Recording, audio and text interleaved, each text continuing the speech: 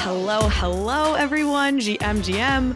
Welcome back to another episode of Overpriced JPEGs and your favorite recurring segment, Moment of Zeneca. Zeneca, thank you so much as always for being here. Thank you for having me as always. It's a pleasure. So, we are going to do what we always do uh, talk about the macro situation going on. There's uh, kind of a lot to go on there. We got the CPI number today, and it's not the prettiest thing in the world. um, NFT news. There are some celebrity drops I want to talk about.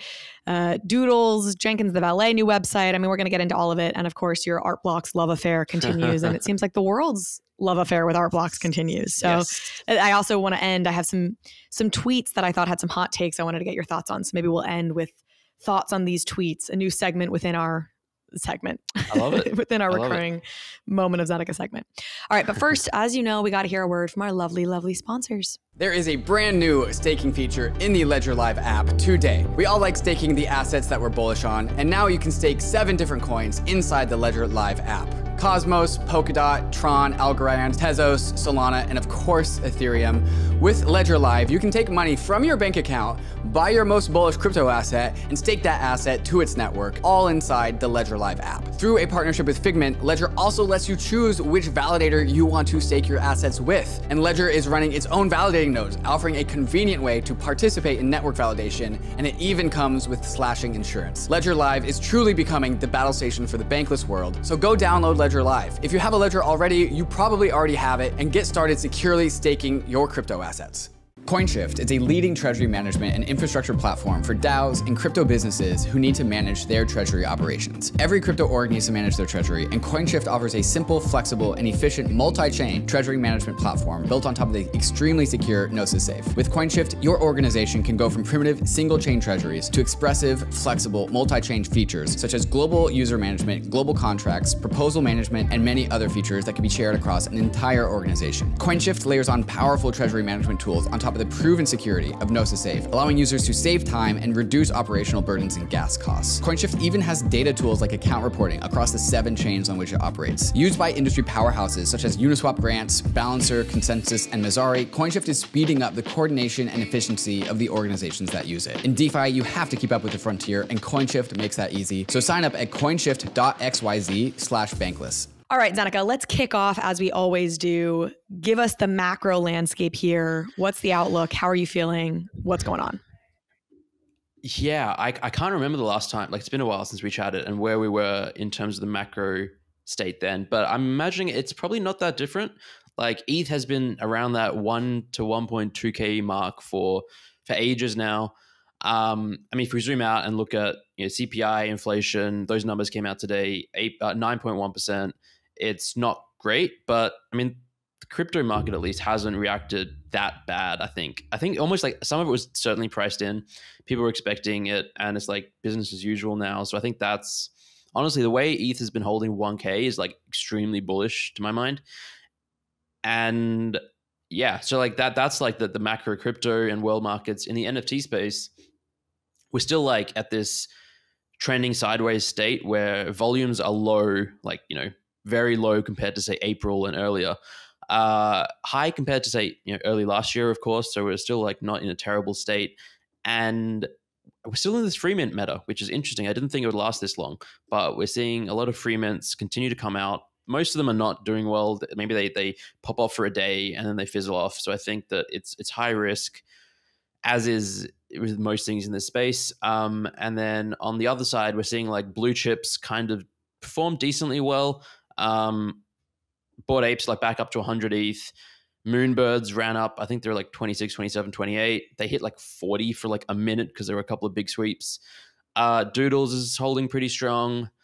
And then Art Blocks Generative Art is really like, I know I talk about it a lot because I'm obsessed, but it's like, you can tell like looking at metrics, it's having a significant movement. Prices are like going up across the board. A lot more new eyes on it. Um, which is great. It's fun, but it's also like where things get frothy and dangerous. And like if you're trying to FOMO in now, um, just like just don't FOMO. Like take the time, do your research. This is something that's going to be around for decades, centuries. So it's it's a marathon, not a sprint on that front. Um, yeah, macro. I think it's it's still, uh, if to sum it up in a sentence, business as usual. Are you feeling bullish? Like, do you think there'll be much change over the next, let's call it 12 months? Or do you think we'll continue along this trend of blue chips doing well? Uh, or do you think there's more pain to come on the NFT market side? Yeah, I mean, it's a million dollar question. I obviously don't know. No one knows. I think I would say over the like the shorter term, the next few months, uh, I don't really expect any significant or massive changes. I'd be surprised if like prices just all of a sudden start truly rocketing up across the board. We're always going to see like certain projects perform well. Uh, Twelve months is a lifetime in this space. Uh, I'm just going to say I have no idea. Like, uh, honest, I have no idea. Yeah. Yeah. Of course. I, I think I'm feeling nervous. I, I've said this before on the pod. I just, I've been impressed by how well NFTs have held up. And actually, I think Mm. Eric Conner said, uh, had a, had a tweet that said something very similar where he was basically like, it's impressive to me. It's pretty remarkable how well NFTs have held up in ETH. uh, In ETH terms, during the Mm. bear, they've clearly outperformed nearly every token. I think people feel more attached and a real sense of community with their NFTs. So the panic selling isn't rampant or isn't as Mhm. rampant which uh, I think is clearly true. I, I've been pretty impressed by how well NFTs have held up as well. Um, but I, I think this Eric sort of talking about this, it may be premature. I think there may be more pain to come. I don't know. I, I'm, I'm tracking this conversation around: Are we in a credit bubble, and will there be a credit Mm. collapse, and and have consumers really been hit as hard as they will be at a certain point? I think some of this some of the problems we're experiencing right now are on the supply side and obviously the fed is doing everything they can to try and crush demand but i don't think they've like fully necessarily Mm. done so yet and and if they do how will that then impact the nft market and will we see more sell-offs so I, i'm i'm still a little nervous that there there Mm. might be more pain to come Yeah, no, it's hard to disagree with that. Uh, at the end of the day, like uh, NFTs exist in the the scope of the the macro environment, and at the end of the day, if people need money for food on the table or like you know living expenses, basics, if there's more fear, people start to really clamp down and hold on to what they have, and there's like a flock to stable coins, fiat, ETH, even, but um, not necessarily JPEGs. Although, like like Eric said, um, you know, the, we are seeing these communities rally behind it, and I think it's such an interesting psychological dynamic where it's it's like we're all in this together, and if we just collectively, as a community, decide. it gets into like what's the value of these things but if the community decides hey we value it Bored Apes at 100 eth we're not going to sell lower than that that's the floor price if somehow you got 10,000 people to agree to a thousand ETH floor price, that's quote unquote the floor price. It's not the value because you need buyers, and that's I think a mistake a lot of people make. They conflate floor price with value. But um, if there's as long as there's liquidity, which the current like there's several sales a day, I don't know five ten um, for Bored Apes. It's yeah, it's it's just interesting experiments. So yeah, I don't know. I guess we'll see. this will this will lead us well into a, a project I want to talk about with it, which is the Wizards project. But I, I will say it was funny. I was um, tracking the CPI release this morning bit. It came out at like 8:30 a.m. ET, and it's hilarious if you look at like the the the ETH the ETH chart. You know, it's like.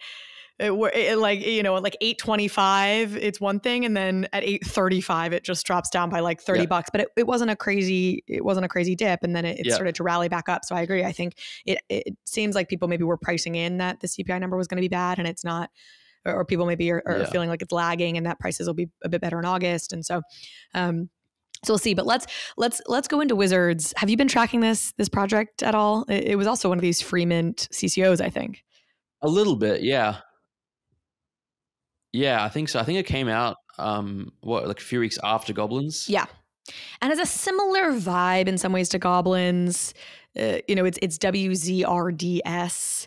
Um, and uh, yeah, it feels like it has a Goblins vibe and is clearly trying to trying to ride that trend. But they did something really interesting recently. Did you did you see what they did? Yeah, where uh, holders could burn if you if you had your token staked or something, you could burn other people's tokens if they had listed it for sale, something like that.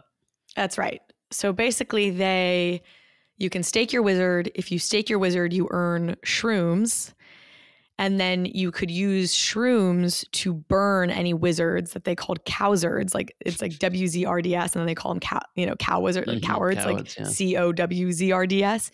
Any any um wizards that were listed, I think for under 3.2 ETH. I think Hmm. you can't burn them if they're above that. But if they're listed for under 3.2 ETH, you could then burn them. And um, they had like a thousand wizards tokens get burned. And so, Yeah. and And and, there was a lot then you know there were only like 67 listed left. Yeah. Yeah, so I first saw what the, that I first saw that just the fact that they did that, and I was like, this is interesting. I don't know that it's like replicable particularly or meaningful Mhm. particularly, but it got my attention because it's conceptually. I, I just find it fun conceptually, and I like fun conceptual Yeah. things in this space. Um, I then started to track some of the controversy and was like, "Oh wow, this is maybe bad, Yeah. uh, kind of a horrible practice," which we can we can maybe talk about. Did you have an initial reaction? Yeah, uh, pretty similar to yours. I was like, this is, I hadn't seen this before. I was like, oh, that's cool that you can do this with smart contracts, interesting mechanic. And then uh, I felt a little bit, I guess, like just sad for certain people who had theirs listed and they were burned because they weren't tracking the Twitter, they weren't in the Discord checking, and and there's that whole element. Um, and then it's sort of it it it is basically it reeks of like market manipulation, price manipulation. They're like, all right, we're gonna just establish a floor price as this and, and introduce introduce mechanics to sort of make it like that. It's not something I think we're going to see more of, and it's not something that I want to like encourage or think is great, but it's certainly interesting. And maybe there are other use cases, um, like within like for a gaming project. Imagine like being able to burn other people's like two 10k collections, and then you just burn each other's collection until there's yeah, like that to me Someone who, someone listening to this, some smart dev, go make this project. uh, it sounds so fun. Like two 10k projects fighting. Yeah. So I think that's a great point. I've been tracking this a little bit. Gosh, I'm going to forget his name. There's a guy. He actually went on G Money's podcast. There's a uh, there's a game dev. I, I believe he's a game dev. He's a dev certainly who's working on like these fight to the death style games, um, where you know if you enter the arena, you actually risk losing your Mm. NFT. And he was sort of flagging that as like a a good use of like scarcity and blockchain technology. I think there's a lot of times where we impose artificial scarcity Mm. in this world. So we have these games where we have an artificial amount of land or a super, you know, Mhm. artificially scarce land. Like in theory, there's no reason the sandbox can't have infinite land. Yeah. And increasingly, I, I, you know, I've spoken a lot and and sort of, I'm not a huge fan of the scarce land plot Yeah. model. Um, f- for practical reasons, but also it it feels skeuomorphic. It's like why are we Mm. imposing web 2 like not just web 2 but like physical world rules in Mhm. a digital world why don't we create things that take advantage of the inherent uniqueness of an of a digital Mhm. world so that's what this game dev was was really getting at like that was his initial theory and he's like okay well these nfts um, can be burned and, and destroyed and in, in battle Mm. and like that can create this sense of adrenaline and that's native to to the, a digital economy i know a couple others actually who have who have talked about that um, in some interesting capacities of like upping the ante for media and content like what if you were watching a show on tv and you had nfts that were a part of that if you're watching game of thrones and you had certain game of thrones Yeah. nfts and they would get burned if based on something that happens in the show and when i think about what an adrenaline junkie culture we are and how like our shows have gotten more violent or more sexual or more Mhm. whatever like we keep having to raise the bar to keep our attention spans this feels like a really interesting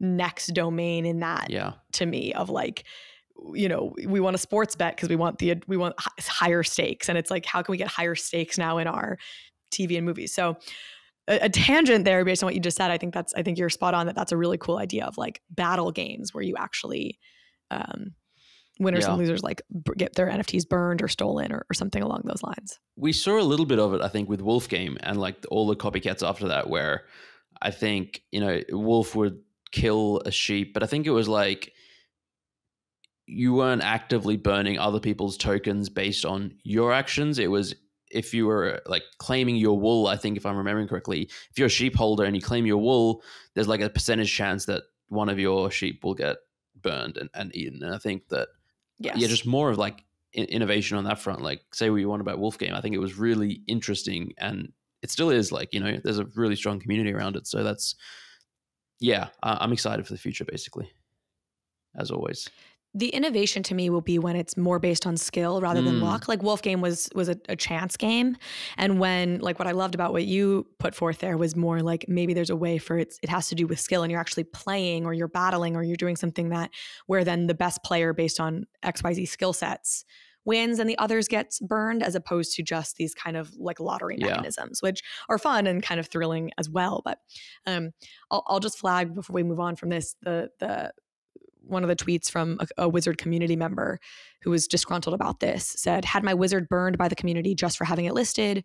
So great to have an nft i paid 0.37 eth for burned without my authorization just because i don't follow the tweets. He was a little disgruntled. Really great community project. Fuck this. And then he said "Def- definitely didn't intend for this tweet to blow up but i guess it's a good debate around whether this meta is a good thing. Mm, I, in general, I wouldn't have had as much of a problem with it if there was a more clear, clear like warning to anyone buying ahead of time that this would happen. Yeah. And then funny to all the people who are saying they should have paid more attention, like it was only tweeted two hours at a time. So I, I'm really sympathetic to that. Um, and and and and the other thing is the it now has a 3.2 ETH floor, you know, because nobody Yeah. will list below in case they get burned. But it doesn't actually mean anything because if you look at the sales, it's like 0.31. Yeah. It's people making bids in WETH on Mhm, wizards and then people being willing to sell them yeah. to the bidder for 0.3 or, or 1 ETH or whatever. So we've sort of um, lost like a natural market. Yeah. It's very weird. Uh, you know, we, we don't necessarily know what the what the natural price is of these. So I, I don't necessarily feel long term bullish, but I think it's it was an interesting uh, interesting thought experiment. Yeah, absolutely. Okay, we have new celebrities coming into the space. Have you been tracking the the celebrity entrance Mm, at all? Not so much. I've like heard about them on like my periphery, but I haven't really been paying attention. Have you? Maybe you can catch me up. A, a little bit. I mean, truthfully, I, uh, I I'm almost finding it more interesting now simply because I, I find it interesting to have these celebrities entering in a bear market, you know, Yeah. and then maybe it it mm, endears me to them a little bit Yeah. more, though it hasn't been going particularly well. You had um Sia did her Souls drop, which I think is is arguably the most exciting of any of them because it, it feels like Sia actually maybe of the celebrities that have come in like most genuinely appreciates the space. She's been in since like December. Like this feels like it's been many months in the making. Um, and her project did all right. They uh, they they've got at least last I checked like 2.3 thousand sold, which isn't terrible by any means. And um, they're doing like her souls community will have apparently input in creating like new music with her and and it's it, it feels like they're making a, a genuine effort there so um, and then and then you have uh, Kevin Hart and Chris Brown. Kevin Hart, similarly, I, I'm intrigued by. Mm. I think maybe he's launched in a bear market. I think he maybe is coming at this genuinely. His Discord is pretty active, and and um, the posts at least give lip service to them kind of getting the space. So um, that one came out this past week, and I think they've they've sold like 2.1 thousand out of I think 5,000 is their Mm. total supply. Um, and what's cool about that drop, they're doing it through Moonwalk, I think is their is Mhm. is like their partner on it, and um, you can you can buy with a credit card. So it's like Oh, 0.055 ETH, about 65 bucks, and they're doing the credit card thing, which I think is great. I think they're really Yeah. trying to make an effort to actually draw in Chris Brown fans. Um, I don't know how, or I'm sorry, Kevin drawing Hart? Kevin Hart Yeah. fans from outside the space.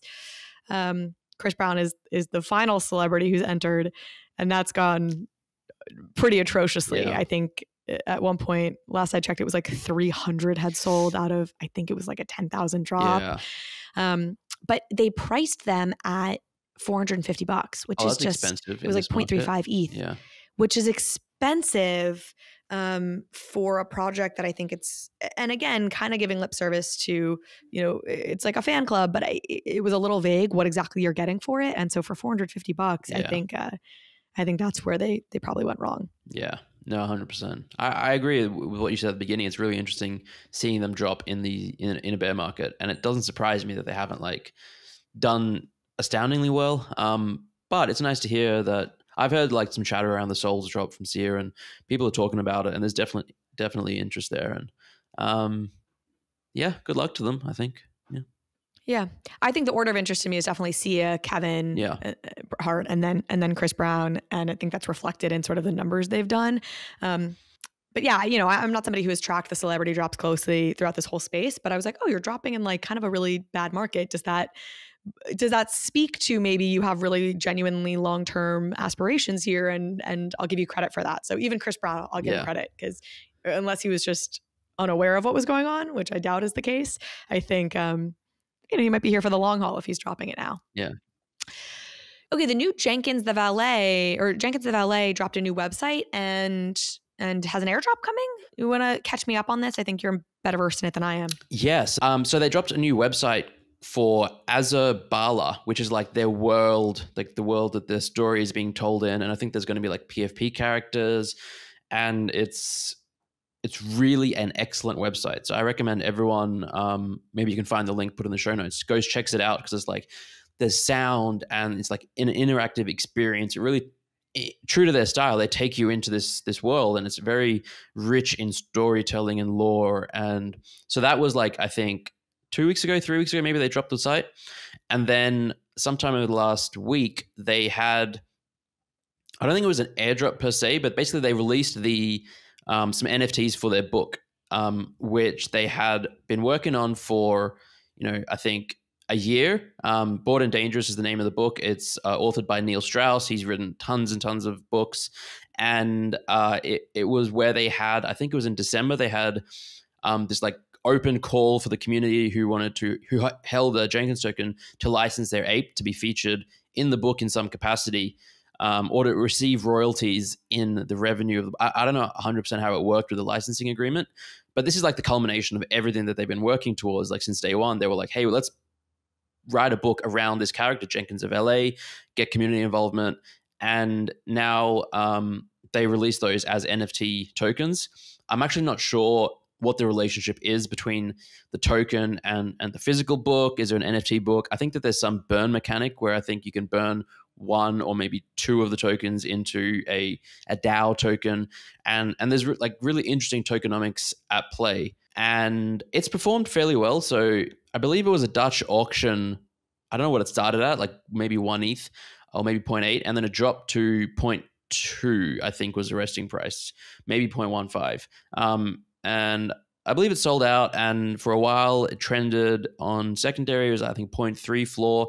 Now we're I think pretty close to mint, but there's different rarities and different um, types of books. I think different titles or subtitles have different value. Um, and I think the airdrop component or like the maybe there's an airdrop coming up and excuse my ignorance because it's yeah, it's it's a little complicated but there was definitely a um, if you held a jenkins token you could mint at like an allow list guaranteed mint at 0.15 so i think like the, the, resting floor might have been 0.2 and then i think there's an additional airdrop of like a few thousand tokens that has either just happened or is coming up soon um, for some subset of the community.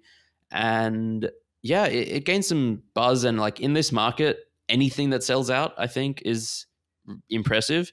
Um, although I did have a conversation earlier today, actually, where I chatting to someone about how, you know, go back six months, four months, Jenkins the Valet did a follow up, um, anything, it would have like been a gas war or like Dutch auction at max, like point A would have gone, they would have flew out the window.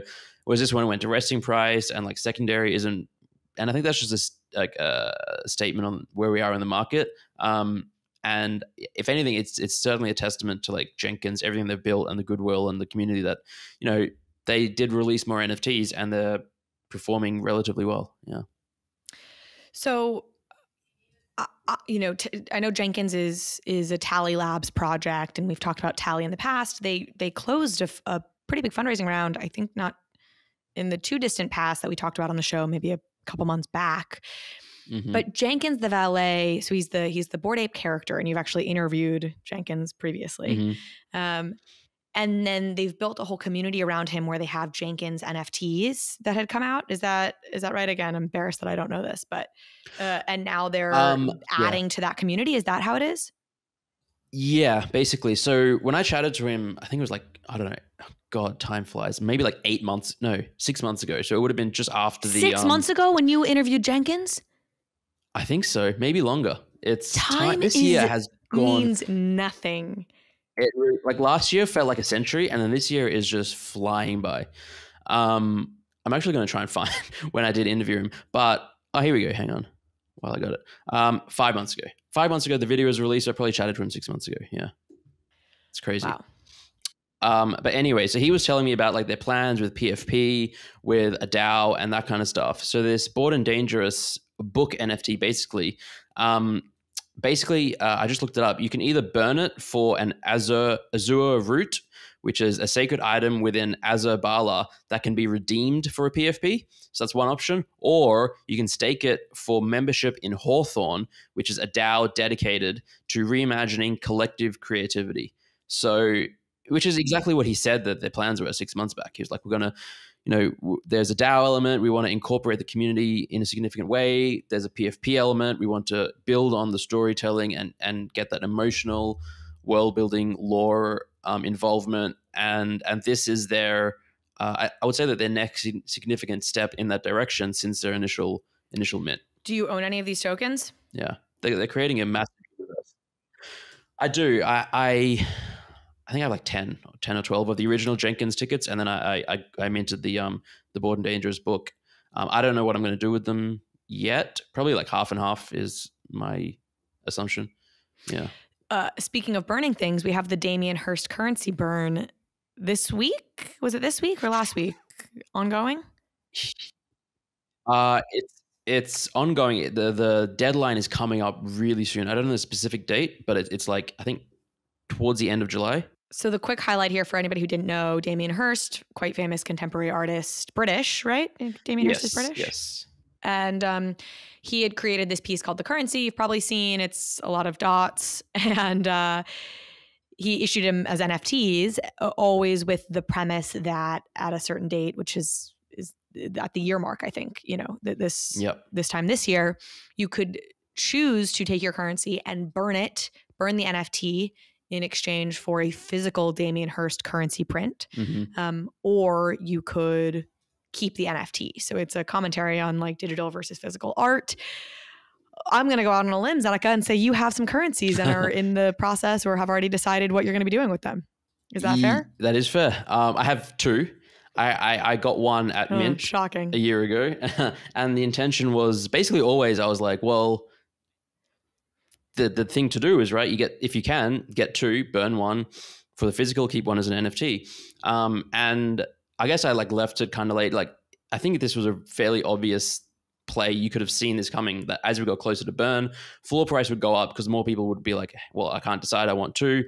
And just general, there would be more media attention on, like there is right now. We're talking about it because it's an event coming up. More people become aware of the project. Um, so my plan is to burn one, keep one. I've seen some like videos and images of the physicals, and they look. I mean, they're small. They're like a postcard size, but they look really.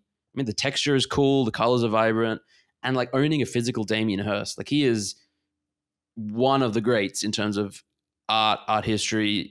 His contribution, um, like he certainly can be controversial, but you know, owning a physical Damien Hirst, that is not something that many people will ever realistically be able to say. So I think that's cool. I think the entire project is a really great experiment. Um, and I listened to some interviews when he launched it last year, and it was clear that he got it. Like he, this was not a cash grab. This was, for starters, he doesn't need money. For second, two thousand dollars was the mint price. It was priced in fiat. Is actually not that expensive at all for a Damien Hirst, even if there's ten thousand of them. Um, and and just listening to him talk, he was like really fascinated by the outcome of it.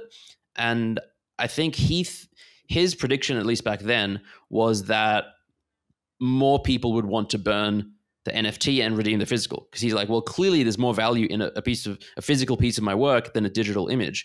Um, but he did acknowledge that there's a possibility that the NFTs would win, and he'd be fascinated by it, and it might make him rethink his worldview or his everything. And uh, very just deep thinking went into it. It, it wasn't uh, just a real cash grab. People on the surface look at it, the art is just a bunch of colored dots, and they all look very, very similar. It's like that is that you can't dispute that. You get ten of them, in, and you probably can't tell the difference without really, really digging into them.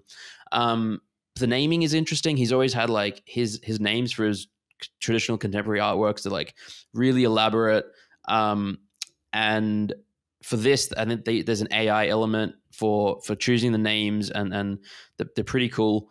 Uh, and yeah, it's just a really interesting project. I looked up that the burn date is it's coming up in 13 days and 20 hours from now. So I believe that's the 27th of July. Um, Do you know how many have been burned? Last I last I heard it was like 17% had been burned. Yeah. Do you so, know what the burn rate is right uh, now? I was Yeah. So there's 10K total. At this point, um, 2,100, 2,132 have been burned for the physicals. So 21, 22%, have yeah. been burned. So there's still almost 8,000 NFTs. Um, clock is ticking, obviously. I, yeah, I, I need to burn one. I, I did sort of see some people who had like serious shipping issues. They were like, they had to talk to customs and, and like go back and forth and, and in order to get it. So like that like gave me a little bit of pause, but I, I, I still really want to, yeah, figure out how to, how to get a, a physical and buy one, keep one. And I mean, the floor is around is 8.25 ETH now. It's basically just been trending upwards for the last, I don't know, three months. Um, it, it certainly had a big lull dip um, end of last year, start of this year. And then, as to be expected, as we get closer to this, it's been trending upwards from, I think it, it dipped to like the three ish range, three to four for several months. Um, and it, it's also an interesting project because I think a lot of people will price it in fiat. So as the ETH price drops, um, they might be more comfortable saying, again, like the original mint was priced in fiat as 2000 US dollars equivalent. So people might be saying, well, I, I'm happy paying 10K for a physical Damien Hirst, or I'm paying happy paying 5K for a Hirst. And so it just readjusted in, in uh, ETH terms as ETH dropped, maybe. hmm Yeah. It's funny to hear you say that Damien's expectations were that more people would burn it, which of course makes sense because if you've spent your entire life as a physical artist for whom people want will pay a lot of money to get your art, you're like you understand the value of that, but you're you're speaking primarily to a community that's very invested in the digital. So like for me, I'm like if I only had one, I think I would keep the digital because A, I don't trust myself with physical art. I feel Mhm. like especially hearing you describe the size of it, I'm like, oh, you know I'm losing that thing in a move at some point or damaging it or Yeah. in some other way Yeah. um, which again speaks to why i'm quite bullish on on digital art because i just like the uh, the safeness of it i mean scams in the space Mm. aside uh, you know put it on a ledger and I, and I feel like Yeah. more comfortable with that than i do um, than i do having a physical Uh, but I, i'll be so I, i'm i'm honestly quite excited to see where this shakes out Yeah. because it, it is a really cool experiment that I think we'll have some insights to be drawn. Absolutely. It's also really interesting um, because it's not just necessarily personal preference in terms of like, do you want the physical? Do you want the NFT? It's also scarcity and value. Like if if everyone Yeah. decides, if like nine thousand people say, "Hey, I want the physical and burn," and there's only a thousand NFTs, then the NFT becomes so much more rare. So if I had to guess, I would say we would get to like pretty close to the 50-50 mark. And I think, yeah, I don't know which side. Like in my mind, I think more people will probably want to burn, um, and, and maybe 60% burn, 40% um, keep the NFT. Um, but the other part is like, yeah, like a lot of people who have two will hold, burn one and, and, and keep one. So that gets us closer to 50-50 as well. Um, yeah, honestly, well, and you're right. And people are probably waiting to yeah, to burn because they're waiting to see where things shake out, so they Yeah. know which one is scarcer. Yep, yep. And yeah, like it makes very little sense to make a decision until like the day of, un- unless you 100% know what you want to do or you're worried that you might forget, which is where I'm, where I put myself in that category. Um, uh, I was going to say one last thing, but it has. Oh yeah, no, that that was it. Like I think there's some subset of people who've literally just forgotten. Like they, they didn't mark their calendar that the, the burn date is 27th of July. They they maybe minted or they bought it eight months ago, a year ago, and they were like, and maybe they've just like the bear market's hit, and they're like, well, I'm not going to bother checking in on my NFT and crypto portfolio, and and so I, I don't know what the percentage, but but I think that because of that, maybe we, end up with fewer burned. Yeah. 64 final answer 60 40 Strategically, 60% held 60 NFTs, 40 40% burned and 40% burn for for physicals. Mm. I like that bet. I'll I'll, I'll uh I'll take the oh gosh, we're already at 22%. So I'll take I would actually probably go the same. I'd probably Yeah. but but for the sake of um we doing a bet here, I'll take the over in terms of it being closer to Okay. 50-50. I'll take We'll- no, I'll in- take in the I'll take it closer to being like more than 40%. I'll say like 50% Mhm. burn, 50% keep as NFT. Okay. Um. So I, it- it's also a bet, in my opinion, on where you think the future of art will land. Mm, Uh, could, could could could factor into the calculation, right? Like the the thing that I find so interesting is to the extent I think art is in part a store of value in, in today's mm-hmm. market and world. Art is in part um, just aesthetic. You like some the way something looks in your home, maybe, and then it's part social signaling. And the social signaling piece of this, I think, is increasingly going to be more powerful online because you're going to mm-hmm. reach so many more people. You already reach so many more people with your digital presence than you do in your home. Like the number of people who have come to my apartment is microscopic compared to the number of people who, yeah. um, you know, see my Instagram. So. Mm-hmm. I, I, that's part of the reason I'm bullish on digital art is I just think to the extent that any of this is is social signaling or just showing who you are and your tastes, digital art should become more valuable. Mm-hmm. Yeah, no, I, I totally agree. MetaMask is the leading Web3 wallet to get you access to everything you need in Web3. If you're just getting started on your NFT journey, you need MetaMask. And if you need to fund your MetaMask account in order to buy that NFT that you've been eyeing, well, now you can do that directly through MetaMask. Just click the blue buy button on the home screen. Personally, I'm mad that I've spent extra gas fees transferring money from Coinbase to MetaMask in order to buy NFTs. I've been using MetaMask directly, and it is so much better. You can also buy stable coins and native tokens from Ethereum, Polygon, Polygon, Avalanche, Celo, and others. And you can do it directly with your debit card, your credit card, through Apple Pay or Google Pay. And there is now an improved buying experience on MetaMask Mobile. You'll only see tokens that are in your region, so it's personalized to you, and you'll get real time quotes, so you know you're always getting the best deal. If you haven't downloaded MetaMask yet, what are you waiting for? Go try it out. You can learn more about buying cryptocurrencies with MetaMask at metamask.io slash buy dash crypto. Immutable X is the layer 2 platform for crypto gaming. Immutable offers massive scalability with up to 9,000 transactions per second and instant transaction confirmation. No more gas fees, no more waiting around for your transaction to clear. Immutable's zero knowledge rollup finally unlocks the world of crypto gaming. Immutable X is the only gas free NFT minting platform with over 26 million NFTs minted, all with zero gas fees. With the power of Immutable, gaming developers don't also need to become smart contract developers, they just need to plug in to Immutable's API and instantly start unlocking the full potential of crypto assets inside of games. This is why world-class companies and projects have decided to deploy on Immutable X like GameStop, Ember Sword, Planet Quest, Illuvium, TikTok, and many more behind the scenes. So start building your game on Immutable X today at immutable.com.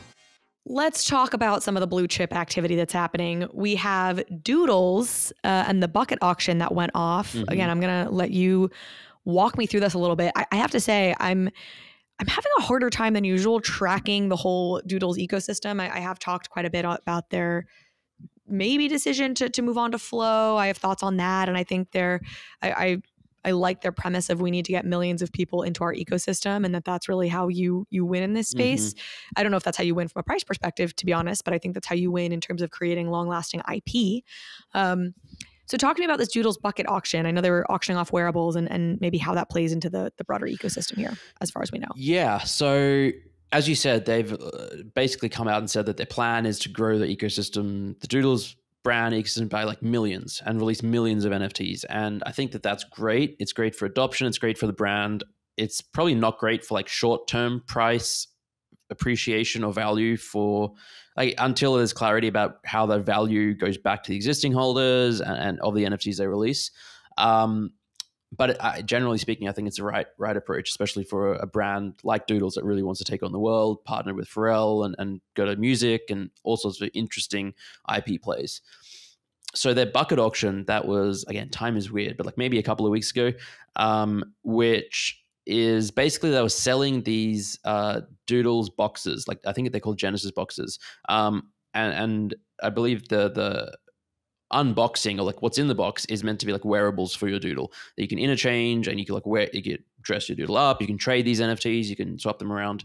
Um, i'm not sure like the specifics and logistics of you know is there one wearable per box? Is it a collection of wearables? How that all works out? I'm not on top of that. And this was something that they actually launched um, in NFT NYC. So part of their physical event and activation was they had like these massive machines that you know people who were there that could go up to. I think that you had to pay. Um, in my mind, one hundred and twenty three dollars is is a number that's floating around for that. Um, but you know, you got one of these NFTs, and I believe that they allocated four thousand for that, and then they said we're going to do a bucket auction, release um, twenty thousand additional um, of these boxes. And the way it worked was, I think that they um, started the auction and, and they ran it for like three days. And you could go to their website and make a bid, and basically saying how much you want to pay, and uh, you you could bid any amount. You could bid 0.1 ETH. You could bid 500 ETH, and they would take all of the the bids and look at I think roughly what the average price is, or I can't remember the exact mechanics of the algorithm that they use, but they, uh, I believe that the way that they worded it in explaining it was like, at the end of the auction, we will have all of these bids and all this information and the, all this pricing, and we'll be able to find like, quote unquote, the fair market value and allocate based on how much people pay. So let's say you put 100 ETH in, I think Pranksy, Jimmy, I think Steve Aoki, for whatever you want to say about that, added a whole bunch. And like, let's say we decide the fair market price is 0.5, put 100 ETH in, that gets you 2000. Is that what I'm thinking? Put 200 um, NFTs. Whereas if you put in 0.6 ETH into the auction, well, then you'll get one box and we'll refund you 0.1.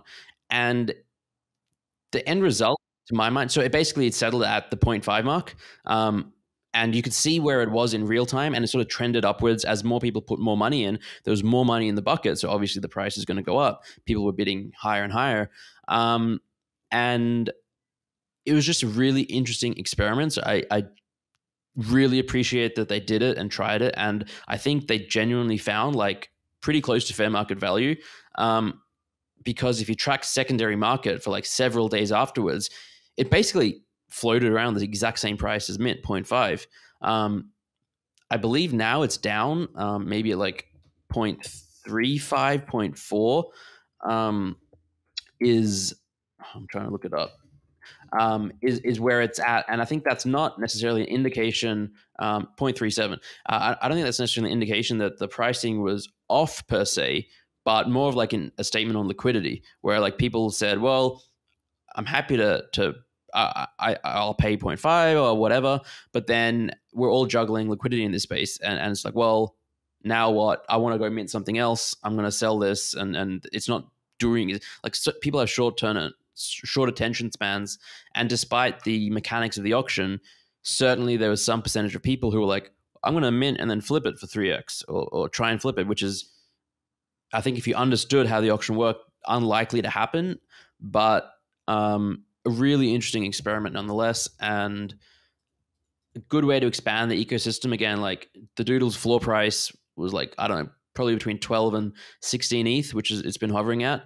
Um, so in order to like expand their ecosystem and have a price point that's accessible for new members who are like maybe wanting to be part of the Doodles ecosystem, this was a really good entry point. It still is 0.37.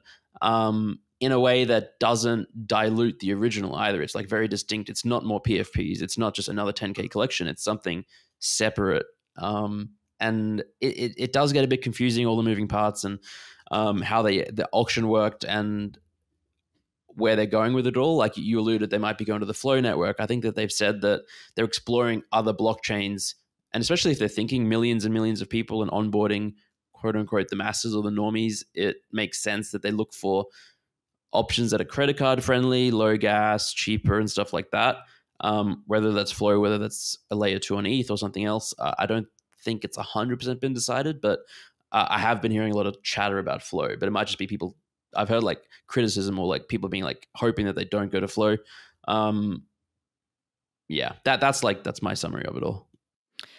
I love it. Okay, my thoughts. I agree. I, I I find this bucket auction model really interesting. You and I actually spoke about it months back, uh, roughly this concept, because it was something Kai Turner, who uh, on the pod today, we're recording this on Wednesday, July 13th. Um, uh, he had floated this idea to me many months ago as, something he was talk he was interested in, and he he's quite friendly with with Jordan Castro Poopie of the Doodles team. So I wouldn't be surprised if they had maybe talked about it as you know Kai has talked about liking this blind auction model, and and it avoids that scenario in like a Dutch auction where like at the last minute everybody sees what it's going to go for, and then you have a gas war, and it's you know difficult if you're new trying to get in. So um, very cool of course doodles. It, it, just it amazes me how frequently i think they handle things really well and how few missteps i feel like they make the flow thing interestingly somebody had put out a tweet thread that i discussed and i think linked to in last week or, or the episode two weeks ago that folks can find, who stated quite definitively that they were moving to Flow, which is where some of my confusion came in. And he seemed to um, like he, he made some comment of like my friend, my friend Jordan or my friend, you know, acting like he had inside inf- info, which which may be totally untrue. It may have been Degentraland actually, uh, who who tweeted about it. Um, so that had led me to think that it was definitive. Though I had also heard Jordan say, I think on a Twitter space that he would prefer to settle on Ethereum and, and have that be the settlement layer, which of course would imply like an L2. So I agree. Until I hear something definitive out of the Doodles team, I, I won't assume anything is locked. I would like to see them on an L2. I've talked about that previously. I think, um, you know, I, I think you don't want to like bifurcate your your collection and and kind of lose the liquidity and the the interoperability. It's it's not so easy. It's not it's kind of not easy getting anything off of Flow, from what I understand. Um, and so, let alone kind of transitioning from Flow to to Ethereum. And so, I would love to see them on an L2, but um, but I, as always, I kind of feel like I trust they'll end up making a smart choice because we've just seen so many smart choices come out of this team. Um, so cool. All right. Well, I'm I'm glad to be more up to date on that. Let me ask, eh, what did this have to do with the duplicator? And was the duplicator the machine from which you could buy the Genesis box in, in, in person at NFT NYC? It's a really good question. I, I don't know what the interplay with the duplicator is. I know that they like revealed the the duplicator and like basically it's just a bunch of different rarities. Like they they just said that uh, you have a very common, a common, or a rare duplicator. And that's kind of all we know in that respect. So, yeah, I, I, heard some funny criticism about how people were like, "Do they really just call it very common? Because most people get there like, oh, great, I have a very common. That's that's great. Thanks, Doodles. well, I had a bet going when they first announced it because it was back in I was at permissionless. So it would have been in May, I guess, that they announced the duplicator.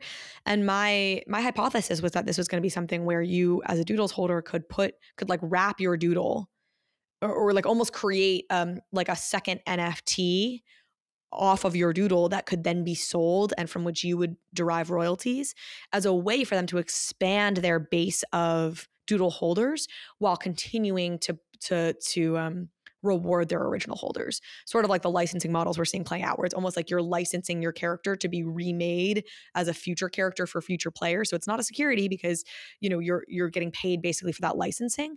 Um, and and I think that's a a really interesting concept. B it's something that do, that Jordan had sort of hinted at when he was on this show months ago, and B the name duplicator felt like it lent itself to that. Um, so I, I guess it's uh, uh somebody can tweet at me and tell me if we already have the answer to, to exactly what that is. But that had been my bet as to what that was going to do. Yeah, no, I think that makes a ton of sense, and I think we'll probably see something like that. Yeah. I look forward to it. Okay, uh, Yuga has stress tested the Otherside metaverse. We know that in just a few days, by the time this comes out, it'll be t- tomorrow, I believe. So this will come out on Friday. I believe it's Saturday, July 16th, that they are going to be doing this this some beta testing with the community for the Otherside game and mm-hmm. metaverse. I am with bated breath waiting to get more info on this yeah. because I've been a little critical of this. I don't I don't think that I have uh, sort of it's the opposite of the, my feeling with Doodles, which is I think that Yuga's obviously a very talented team, but I don't think I've seen the same level of just like innovation and mm-hmm. I feel like they've locked into things and haven't necessarily been as like thoughtful about driving things. So I didn't love obviously the Otherside execution was was a little bit botched, but mm-hmm. on top of that, I don't love that they did a land sale in the first place. So I am um, I'm really waiting to see what we're going to learn about this game on Saturday because that'll help to inform how I feel about the, the land sale. Yeah, uh, I think we're all sort of waiting. it's been uh, obviously the Yuga Otherside land was like the, the crypto the, the peak of the nft market coincided with the macro world collapsing and like the, the, yeah there's insane expectations i think. So it's going to be hard for them to meet them. I i would say that so i participated in the first stress test. They had two stress tests or load tests i think they called them over the last week or two where they just said hey we're uh, anyone who has an Otherside, you know come in where we just want to test some stuff out try out our servers see how it goes and it was a better experience than I was expecting. I d- I don't know what I was expecting, but there were like two and a half thousand people users when I was in there, like running around in this 3D environment. Um, it was really smooth. It felt like um, like running around like Call of Duty or maybe Fortnite, a game like that. Uh, it was so much more advanced than um, like a like a, a voxelated game engine that we've seen most of the metaverses be built on. So I think that was cool. And yeah, again, I have not like I don't really know what Otherside is going to bring, what the beta is going to look like, but yeah, and there have been possible expectations, but yeah, let's see. Like hopefully they execute well and, and deliver something awesome. Your expectation for Saturday is that we'll find out a bit more about the game itself. Is is I that think so. right? Because that's my expectation. Okay. Yeah. I and and so. what you've seen thus far is really just like the the world and it looks great but we we really Well, still don't know anything if- about how do you play what do you Yeah. do it I would say the world feels great. It was literally just like a white void with like a bunch of platforms you could jump on. So you didn't actually see Okay. any of the like the, the the world itself, but um it felt Got it. clean and smooth and like it was the experience was was yeah, it was nice. all right good for them. Yeah. that's uh we'll see we'll learn more as it uh, unfolds. Uh, i want to talk about art blocks. You mentioned it earlier. Obviously they're having a, they're a very hot topic very hot drops. You've got a dutch auction today. Again it's wednesday the 13th uh, In three minutes. so i know you've got a hard stop here in in like two minutes. Well, no, I'm- so maybe this is uh, I've maybe done this is good timing here. Okay. Yeah. All right, fair enough. So, um, uh, what is the what are the projects you're keeping your eye out for? Uh, have you been, you know, I know you've been purchasing. Are there any any projects that you were sort of watching once they got low enough that you were going to buy into, and then that seems to have uh, prompted this this craze we're in? Yes, a lot. Like I loathe to like name one or two because there's I've just been watching the whole market and there's there's been dozens of projects that I mean Art Blocks had a giga peak blow off top last August. It's like the NFT market had a had a, a peak and blow off top. I'd say Art Blocks was like an order of magnitude higher than that, and so it crashed an order of magnitude uh, harder than that when um, almost like in October, November, December last year, that first mini bear that we sort of went through before the real bear that we're in now. Um, Art Blocks crashed then and was just like dead in the water for like three, four months in terms of like certain collections that you'd, you'd go look at the OpenSea activity and like there hadn't been a sale for two months. And that was like prime buying time, I think, and opportunities to to pick up collections that you really wanted. I was definitely buying through there. I was still minting several, like uh, uh, uh, basically every curated drop I would mint, and then other ones I, I would keep an eye on. Um, and now, yeah, we're in this stage where there's a lot more attention on it. Um, it's very frothy, I would say, like generative art as a whole. More people are tweeting about it, myself included. Uh, Kevin Rose had a podcast. Uh, their roundtable came out like a week ago talking about anti-cyclones, and we saw a run on those. Squiggles had a whole bunch of activations, like in New York, they had a big thing. There's a partnership with WAGMI United, this football team. Um, you know, uh, Erick Snowfro, he's flying around speaking in all sorts of places. Jeff Davis, the uh, I think COO or, or, or partner, is flying around speaking, and there's just a lot more attention on art blocks, generative art. You know, other platforms. FX Hash is is really gaining traction and momentum as well. Um, yeah, it's it's an exciting time, but it is it is a bit frothy. So I loathe to like recommend or suggest people like mint YOLO buy right now. Um, definitely keep an eye on it. Like 100%, I think it's worth keeping an eye on, looking at prices, seeing where they go, and um, all that kind of stuff. But this this auction, literally that started right now, is going to be super telling because last September, August September, when we had they had implemented Dutch auctions, you would see people like mint at the, the max price and the secondary would run off afterwards, but then it would come crashing down because so many people were just there speculating and trying to flip. And I can see right now there's 25 transactions pending, so it might mint out at the top price of three ETH. Um, and I think that it's, it's probably not going to sustain that price. So I'm uh, probably not going to mint, even though I really like it. Maybe I'll get one. A sigh of disappointment. Yeah, I was hoping it would go lower, but Well, I'll pick it up on secondary a little lower. It sounds like at some point. exactly. Snowfro, I interviewed an hour ago, two hours ago. So that'll be coming out next week. Um, and you know, he he talked about the froth as well, and like you know, really just like I don't like it. You know, I like it when new people can can come in, and everything is cyclical though, right? So of course it it happens the way it does, which is that it gets really frothy, it gets really big, that gets attention onto generative art, which is a fantastic thing, and then it crashes, and then that that paves way for new holders to come in, Yeah. and, and um, the people who maybe started to track it during the bull run can actually get in on, on reasonable prices. I know you've been tweeting. You said um, like equilibrium has been restored or, or something like that when uh, when the Fidenza floor once again went over 100 Yep. ETH, and we had a Fidenza sell for half a million dollars yesterday, two days Mhm. ago. So um, the uh, the OGs and the the the are, are doing quite well. Yeah. Yeah. I mean, it's for those that believe and had conviction long term, I don't think it's necessarily surprising that we've bounced back. It is a little surprising that we're yeah, Art Blocks is like pumping while we're in a bear market and, and things are going going sort of pretty terribly everywhere else. But um yeah, uh, my long term conviction has never wavered in terms of Art Blocks, generative art as a movement. Um, I think we're still in the very, very early stages. We're going to see a lot more eyeballs and attention placed on on gen art. Um, but at a time like this is when people are attracted just because of the, the money and, and and are trying to flip and it gets short term profit. Um, like case in point, this auction was it's basically minted out already um, at the top price, three ETH. Um, I heard a really interesting stat yesterday. In the history of art blocks, there's only been there have been a bunch of mints that have minted out higher than two ETH there's only one that has a floor higher than two ETH right now. So I think that alone is making me go, I'm not going to mint this at, at three or 2.7. Maybe I'm eating my words in a week or two and the floor is eight ETH or something. Um, but yeah, I'm, I'm, I'm hoping to buy off the botters when they undercut each other on secondary. Let me see if I have that stat right. Are you saying that of the projects that minted out over two ETH, only one of them still has a floor over two ETH? I believe so. I think Fragments of an Infinite Field is the only one that falls in that category. Uh, the Eternal Pump is like a slight exception to that. That minted out is only a collection size of fifty, and, and that was ages beforehand. So I don't think that counts. Um, I'm not 100 percent sure that that's accurate, but I'm like 95 percent, 97 percent sure. Um, Do you think there are any bargains right now on art blocks? Uh, any bargains? I would say Squiggles. I mean, I think that you can never go too wrong. Well, I, I wouldn't necessarily call it a bargain, but I would say it's a pretty decent buy. It's it's a good bet on art blocks, and in USD terms, it's pretty close to like the yearly lows. Um, in ETH terms, it's not. It went to like five, six ETH.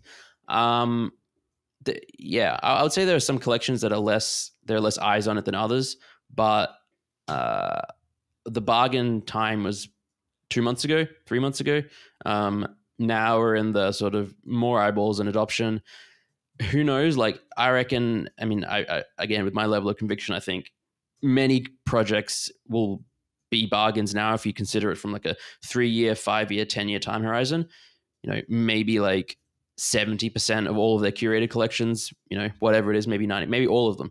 Um, but in like, if you, if you look at where we are now and, and looking at it in a month, maybe we're like a little local top. Maybe we go for another one to two months and then crash again as it's very cyclical. But um, yeah, I would say long term time horizon, everything's a bar- everything's a bargain. But in, in terms of local and where we are locally, it's um it's been frothy and and just be careful. Yeah.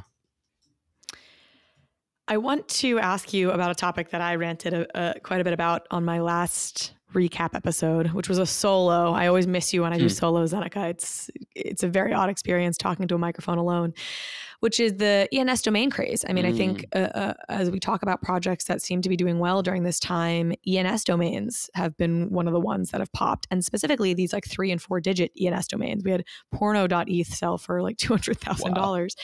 So um, I don't know if you have an, an opinion on this or if you've been doing any buying in this space, but would love to get your take. Yeah, I'm I'm not I don't really know about like the whole numbering thing. Um, I'm not fully versed in. I understand like the appeal of like three digit ENS names. Um, just like people have uh license plates like number eight on a license plate that's worth hundreds of thousands of dollars and stuff like that um so I, I can understand that and i think that there's there's value i think as it, it again it got really frothy and people started extrapolating four digit five digit and then other languages and all that kind of stuff. And i think that that's when things got a bit crazy and, and unrealistic. Um, but fundamentally like uh, i would say the core of some of those numbers and then some of those names i think that there's value and it's similar to how we look at domain names you know um, whatever sex.com surely is going to be worth a ton of money. Um, nike.com so like today we saw a bunch of brands sell i think starbucks.com sold for like 50 or 60 eth nike for a similar amount um, a few like that. Um, and just you think in the future when a brand comes in it makes sense for them to want to have their ens domain name um, and they're willing to pay up for it now or in the future um, i have friends who sort of bought a bunch of domain names you know six months ago eight months ago um, I think all like the most popular ones had been taken, obviously Nike, Starbucks, but then they looked for like niches and like well stuff like that, and there's there's probably still value out there. Yeah. Yeah. Yeah. I mean, that was more or less my take. I won't bore people with it again because I, I actually did rant about this for quite a while because I'm I'm quite skeptical on this number craze. Like, I get it. I understand that li- license plates with short numbers are are cool, but I think it's a just such a speculative, risky play as compared to the point you just made, which is the brand names. Mm. And to me, it's like if you're gonna spend two hundred thousand dollars, which I guess porno.eth you could argue is more on the brand side, mm. but somebody bought zero zero zero dot eth, I think, for like 300 ETH or yeah. something, right? Like if you're going to spend that kind of money, buy a brand that yeah. is going to clearly need it. Like I made the point that I don't think you know, I, I sent an email to zero zero zero at gmail.com and I got like a bounce back and nobody yeah. cares or has noticed exactly. that that's not an email address or that that's not an active handle on Twitter. And I, I just, but for sure, you know, yeah, exactly. Starbucks and, and Nike are going to notice if they don't have Nike.com. Yeah. So, um, anyway, okay, I want to get your reactions to some tweets mm-hmm. that mm-hmm. came out this week. Um, this one comes from, and we'll link to them from Mike3 and Enjoy Your. He says, if you didn't get rich from NFTs already, you aren't going to. You're not early. You're very late to a mature, collapsing Ponzi, and regs are coming. You can still make money in the long term rise of art, but you'll not be turning $500 into millions by flipping free 10K mints on plebes. What do you think? I think there's a reasonable amount of truth to that. Um, I would argue that, like, well, I think we are very early still. Like, there's no two ways about that. If you look eh, long term time horizon, if NFTs, Web three were going to be around for decades, centuries, forever, you know, we're in the very very early stages. Um, and I would also say that uh, it was never that easy to flip five hundred dollars into millions. Like even last year, I know so many people. There have been so many people that were in the space that were tracking it. I really appreciate you saying that as somebody who did not do that. Right. Yeah. I mean, I got lucky. I think so many of us got very lucky to, to be where we are. Um, and again, like it was never easy to do it, and it's not easy to do it now. Like that part hasn't changed. Sure, it I, I would say relatively it was easier. There might, have been more opportunities, but like during a bull run, it's just easier to make money than in a bear run. But I, I don't think that means that there aren't tremendous opportunities still, and it's not extremely worthwhile spending your time to learn the technology, the space, network. Um, find, uh, I think, without giving financial advice, I think that there are still amazing investment opportunities or things that you can buy that will be worth a lot more in the future.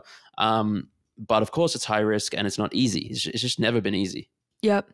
I, I, I fully agree with this. I mean, I think this is a like with what you just said, and you know, I think his take is a slightly like, uh, you know, it comes across a little aggressive and, and cynical and, and, harsh, and um, but I, I do think the sentiment of we might be at the end of of flipping. Like to, to your point, it was never easy to do it, but the fact that there were so many people who did manage to, I do think that's we're probably at the end of that era of like here's just here, here's a i don't know i can't think of a, a great example right now and, and probably don't want to like you know shit on anybody but like here here's something and then it's just gonna kind of do this run up into hundreds of thousands of dollars I, I, I don't know. I could talk myself both ways in it, which is why I wanted to get your opinion on this tweet rather than, than only posit my own. But I do think we're we're probably entering a, the the next phase of maturity in this market in a really positive way. But it does come at the cost of just like, you know, flipping your way to to millionaire status, which to your point was never easy, but which we did see more than your average number of people do mm-hmm. um,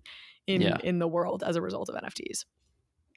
Yeah. Uh, Raoul Pal, this is the next one I wanted to get your thoughts on, had an interesting thread where he pulling it up, he said, observation on NFT communities. Why the stupid hoops to jump through for everything? It has become near impossible to stay on top of projects you were already involved with, allow lists, free mints, airdrops, mints, registrations, Dutch auctions, blah, blah, blah, it, and all the things to just get to some next level of utopia, the promise of riches, or breathlessly a game. This makes it super hard for anyone but DGens. I'm all for gamification, but this is starting to look like a game for a game's sake with the ever promise, with ever the promise, much like the path to a Goldman Sachs partnership, endless carrot, lots of stick. He goes on, but I, I won't um I won't. You get mm. the you get the gist there. What do you What do you think? Yeah, I mean, I totally agree. I think that, and and I think that most people agree that we we went through that really, which is th- this phase, which is thankfully over. Is like they're grinding for like a mintlist spot, um, jumping through hoops, being in Discord, you know, drawing some fan art, um, all that kind of stuff. It was like quote unquote the thing to do for a while, and it worked, and it got engagement, and it got people talking about your project, so people did it. But people hated it, and thankfully it's kind of over now.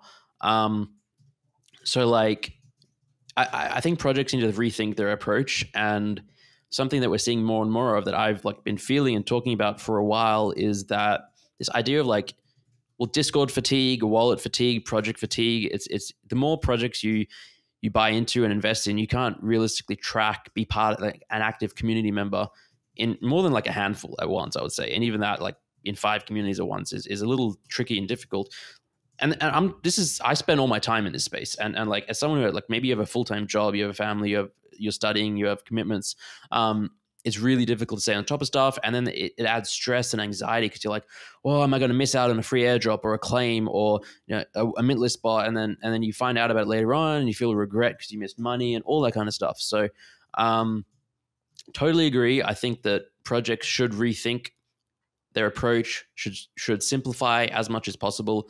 Um, that's like a grander thing that I'm thinking, seeing, and, and feeling more of. It's the idea of like keeping things simple and like as ecosystems get more complicated, Pixel Vault and, and the Punks Comics thing, I think is a great example. It's really convoluted and complicated. And I've like basically, I, I, I mint it. I've been there from day one. I have no idea what the hell's going on. I don't track it or follow it anymore. And I'm missing out on value for sure in certain instances. But um, and I'm not alone. And I think that that just it almost sours me for the project a little bit and other projects like that. Um, whereas if someone can do it relatively simply, um, I appreciate that, and I think more and more people are, are becoming to appreciate that. It's funny because what came to mind for me hearing this, he's like, it, it feels like a game for game's sake, which I agree with. Uh, but it, I think it was born out of the when utility question. It was born out of having these communities that were constantly asking for more and wanting more. So on the one hand, we all hated the the having to keep up with it all, but it was also you know us in the macro sense that that drove this behavior i don't think that founders wanted to have to be doing all of this yeah. either you know yeah, like we've all been tired but it was um in the in the kind of crazy bull and and it, you know it felt like it's what you had to do in order to um create value or, or be seen as a legitimate project or hell just to be seen as not a rug i think in some ways. It was like if you're not talking or doing things well you're a rug then. And so yeah. um you know th- i do think those are the things that we're keeping or those are the things maybe to some extent even still with some projects that are keeping values propped up. Um and so I, this maybe ties back to where i think there might be more pain to come. Like if, if we rethink all of this in, in the short term, I think there may be concern or like like you know what what is kind of keeping the the value there for for certain projects if you don't have um, some of this going on. Yeah. So uh, we're in a as all bear markets are, you're in a, a reconfiguring stage, and uh, I'm I'm excited about where we'll be on the other side of this, but I think there might be some more blood on the streets, it, it, you know, over the next yeah. 12 months as we as we reconfigure. Yeah, for certain projects, like absolutely, yeah, it's it's going to be a tricky several months year ahead final tweet that I want to get your thoughts on. So this was from uh, Nansen, like the Nansen intern account. So Nansen being like the um, metrics. What's the word I'm looking for? You know, you can track all sorts of different information about NFTs uh, and tokens and who, who, are the whales that are buying. Yeah. Analytics, yeah, like yeah. it's an analytics platform. Um, and so this tweet says, "Why I'm confident that three of the four most profitable NFT trader wallets are owned by the same person or entity." And then they proceed to give a thread showing that they tend to have activity around the exact same time. They've all interacted with each other. They all came online. These three different wallets all came online at the same time. They tend to buy similar things. Um, compelling case. I won't. I, am not. You know, it's kind of visual. So we'll link to this tweet, and then I'll I'll ask. Mm. You know, folks can go check it out if they're interested So I've I'm been like loosely persuaded that three of the top four most profitable NFT trader wallets are actually one person. And I guess my question Mhm. is, does this matter at all? Are there any implications to this? Are there any hot takes to have from this? Or it's just like, oh wow, there's somebody out there who's even rich, richer than we realized. um, I don't think it matters too much. Uh, I mean, I kind of already. I'm, I'm, I'm wondering who it is. Like, there's a really profitable, uh, prevalent, prominent trader. Sneaky Ninja Pants is his like screen name, and I wouldn't be surprised if, if this is him. I know he has two wallets that are like at least up there and have been extremely profitable. So, um, it makes sense. Like a lot of uh, people have multiple wallets, and I guess like the the cynical and nefarious angle could be if they use one wallet to slowly accumulate and the other wallet to do a massive sweep, causing the price to go up, and then they dump from the other wallet, and then, um, but in many instances, it's like all is fair in in love and and blockchains. So like it's it's public and decentralized, and you know people can view it like like this Nansen person has, and as lo- like in terms of ethical behavior, I think I think it's fine as long as they're not like going on Twitter and shilling it and, and pumping the price up and then immediately dumping and doing that. Um, it's it's just like, yeah, I'm I'm not too turned off by it or anything, or or even necessarily that surprised by it. Yeah. All right, fair enough. No hot take. I didn't have one either, but I found it striking, and I wanted to see if, uh, again, you can tweet at us if somebody else out there has a has a hot take on the implications of this. All right, Zen. Well, I think that is our show for this week. We'll be back. You'll be back in a couple weeks. I'll be back next week talking about more of the same. And uh, thanks as always for joining. Amazing. Thank you for having me. This was this was wonderful. And uh, I, I did get an Art Blocks. I sniped one on secondary um, while this was happening. Oh, what'd you get? What'd you pay for it? Uh, I so I paid a little high. It was uh, it might not age well, four point six ETH, but it I think it's it's really beautiful and it's it's very rare. It's number twelve, running moon, running moon number twelve. Wow. Yeah, but I'll, I'll say this. Running this: Moon is the yeah. What's the name of this this drop today? What was the name of yeah, it? Running Moon by Running uh, L- Lucia He. Uh, or hey, I might be mis- probably mispronouncing that. Um, it is it's really beautiful, but um, it's it's very clear that the the the drop was botted. There's a fi- it's there's 500 in the collection. 207 are currently for sale. So within like 20 minutes, um, 40% is up for sale. So it is, to my mind, almost guaranteed to drop. Um, I, I just happened to see this one that I thought was beautiful at a reason. Like even if the floor drops to 1.5 ETH, I, I think getting this for four and a half was still. I'm happy to pay that for it. Um, but yeah, bots and I, I think bots are going to get wrecked. Thankfully, it, it's fun. Like if you like spend time in the Art Blocks Discord and community, most people sort of saw this coming, and there's like this, um, uh, like almost like screw the bots attitude. We're like, well, we're just not going to buy. Like we are the collectors, and most of us, if we just decide not to buy, price will tank, and we'll buy them when it drops to like when when they keep undercutting each other, and the floor gets to like two ETH, one ETH, whatever. Um, but I, I do think it's a really beautiful collection, and over time, um, it will bounce back and perform well. Um, one one last note, and then we wrap up. It, it's it's it didn't help the collection that it has moon in the title of it. Running moon. That's just like rife Yeah. flippers and mean lords. Yeah. Uh, I'm gonna go check it out right now. I'm excited. I will. I, I will close on this. I know. I always. People never want to hear about things outside of NFTs on on podcasts, and I know that. But I want to shout out. I'm in Maryland right now, so if you're watching this on YouTube, I'm at my uh, aunt and uncle's house. I call them aunt and uncle, and uh, my uncle made this door. And as we're talking about art and pretty aesthetic things, it's a very cool door. So if you're watching on YouTube, check it out. Cool Amazing. backdrop this this week. And um, all right, I will catch you next time.